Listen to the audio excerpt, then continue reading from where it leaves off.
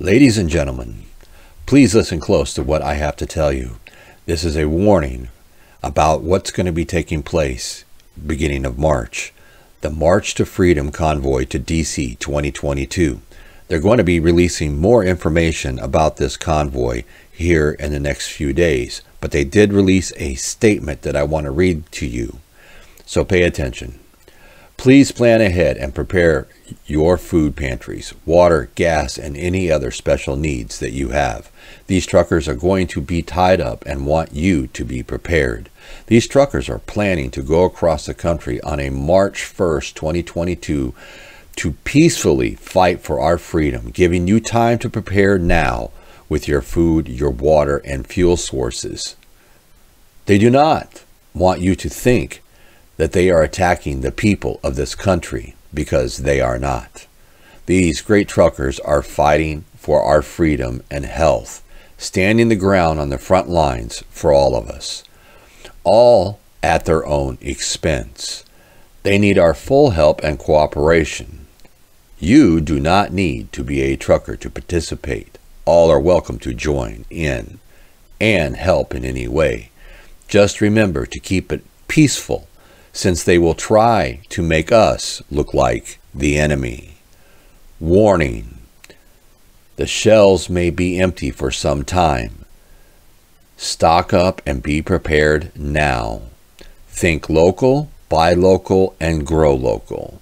Thank you.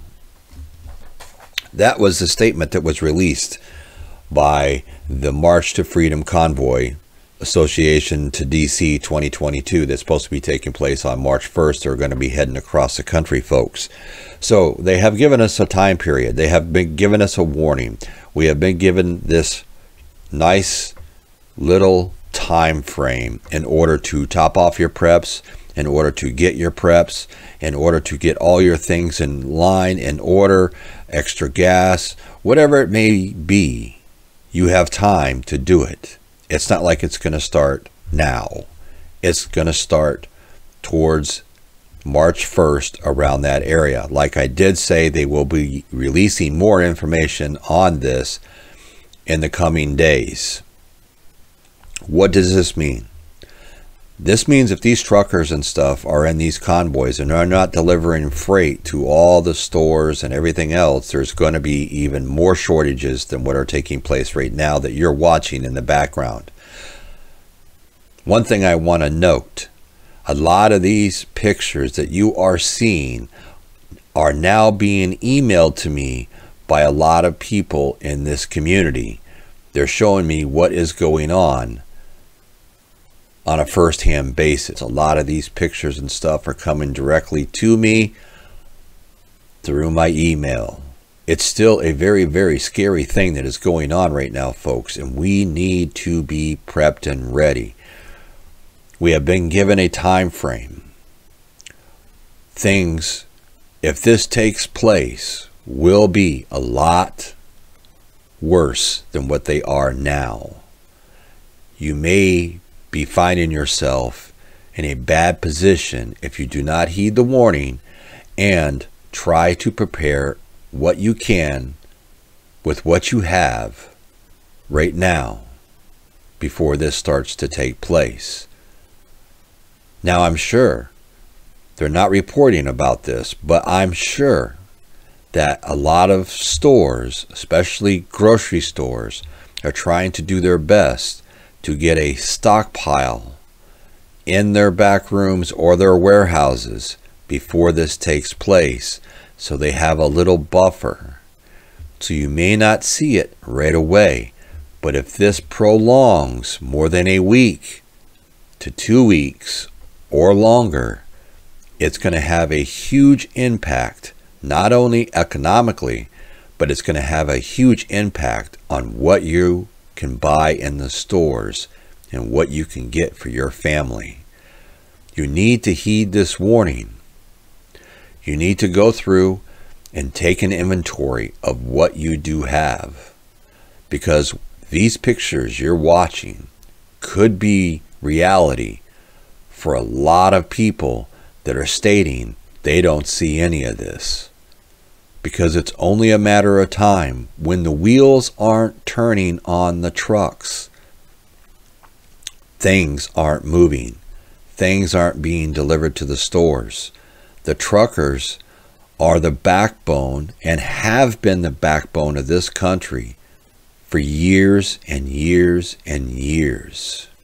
Without the truckers, this country will collapse because there's no other way of moving the amount of goods that are moved on a daily basis in just this country.